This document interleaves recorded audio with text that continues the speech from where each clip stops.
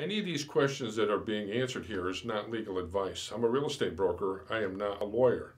So always consult an attorney. Can I get a roommate later on? Typically, getting a roommate requires us to be able to screen them.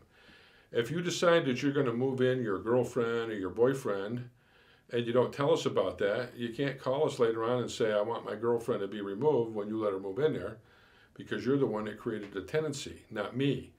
And I won't be able to serve her with a notice or him a notice to get out of your house because you let him move in there. So you need to get your roommate screened through the property management company to avoid problems later on down the road.